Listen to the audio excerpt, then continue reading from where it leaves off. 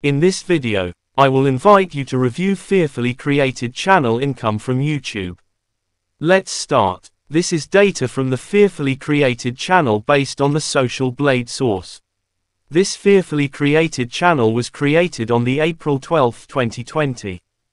Until the time this video was created, the fearfully created channel had reached 117,000 subscribers, and have uploaded 422 videos. And total 27,460,242 videos has been watched. Let's see how much fearfully created channel total income from YouTube. This is views data from Fearfully Created channel. Daily views 25,202 views. Weekly views 176,414 views. And in the last one month Fearfully Created channel has been watched by 756,043 views. Okay, let's continue calculating Fearfully Created channel income from YouTube.